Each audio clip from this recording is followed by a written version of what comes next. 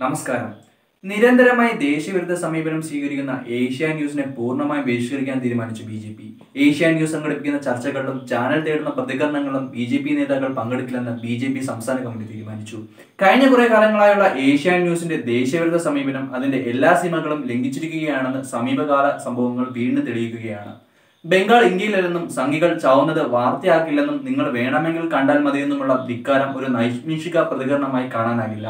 രാജ്യ താല്പര്യങ്ങളെ അത്ര കണ്ട് ഹനിക്കുന്ന ഏഷ്യാനെറ്റുമായി സഹകരിക്കാൻ ബി ജെ പിക്കോ മറ്റ് ദേശീയ പ്രസ്ഥാനങ്ങൾക്കോ സാധിക്കുന്നില്ലെന്നും സംസ്ഥാന കമ്മിറ്റി വ്യക്തമാക്കി. വാർത്തയിലും വാർത്താധിഷ്ഠിത പരിപാടികളിലും ബി ജെ പിയും ദേശീയ പ്രസ്ഥാനങ്ങളെയും നിരന്തരമായി അവഹേളിക്കുകയും പരിഹസിക്കുകയും ചെയ്യുന്ന നിലപാടാണ് കാലാകാലങ്ങളായി ഏഷ്യ ന്യൂസ് തുടരുന്നത്. അതുകൊണ്ട് തന്നെ ഏഷ്യാനെറ്റുമായുള്ള നിസ്സഹകരണം ആരംഭിക്കാൻ ഭാരതീയ ജനതാ പാർട്ടി കേരള ഘടകം തീരുമാനമെടുക്കുകയായിരുന്നു. ബംഗാളിൽ തൃണമൂൽ ഗുണ്ടകൾ നടത്തുന്ന കൊലപാതകങ്ങളെ ന്യായീകരിച്ച ചീഫ് റിപ്പോർട്ടർക്കെതിരെ ഇതുവരെ ഏഷ്യ ന്യൂസ് നടപടിയൊന്നും എടുത്തിട്ടില്ല. ബംഗാൾ ആക്രമണങ്ങളെ വെള്ളപൂശുന്ന ഏഷ്യൻ ന്യൂസിൽ തിരുവനന്തപുരം ബ്യൂറോയിലെ സീനിയർ റിപ്പോർട്ടർ പി ആർ പ്രവീണയ്ക്കെതിരെ വ്യാപകമായ പ്രതിഷേധമാണ് സോഷ്യൽ മീഡിയയിൽ ഉയർന്നത്. ഇത് ചാനലിൽ പ്രതിസന്ധി സൃഷ്ടിച്ചപ്പോൾ ഒരു വിശദീകരണം മാത്രമാണ് ഏഷ്യാനും പ്രവീണയോട് ആവശ്യപ്പെട്ടത്. ഇതിനെതിരെ ചാനൽ ചെയർമാനും എം പിയുമായ രാജീവ് ചന്ദ്രശേഖരനെതിരെ വളരെ വ്യാപകമായ പ്രതിഷേധമാണ് ഉയർന്നത്. കഴിഞ്ഞ ആഴ്ച ഏഷ്യ ന്യൂസ് ചാനലിലേക്ക് ബംഗാൾ ആക്രമണത്തിന്റെ വാർത്തകൾ കൊടുക്കാത്തതെന്ന് വിളിച്ചു ചോദിച്ച കോട്ടയംകാരിയായ യുവതിയോട് തീർത്തും അപമര്യാദയായ രീതിയിലാണ് പ്രവീണ പെരുമാറിയത്.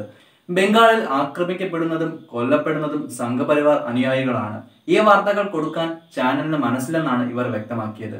നേരത്തെ ദില്ലിയിൽ ജിഹാദികൾ നടത്തിയ കലാപത്തിന് വൻതോതിൽ പ്രചരണം നൽകിയ ചാനലാണ് ഏഷ്യ ന്യൂസ്. വ്യാജ വാർത്തകൾ നൽകിയ കലാപകാരികൾക്ക് ഏഷ്യൻ വൻ രീതിയിൽ പ്രോത്സാഹനം നൽകിയിരുന്നു. ഏഷ്യാനിൽ ലേഖകനായ പി ആർ സുനിൽ ഇതിനിടെ കലാപം ആളിക്കത്തിക്കാൻ ഹൈന്ദവർ മുസ്ലിം പള്ളി തകർത്തെന്ന വ്യാജവാർത്ത ചാനലിൽ കൂടി നൽകിയിരുന്നു.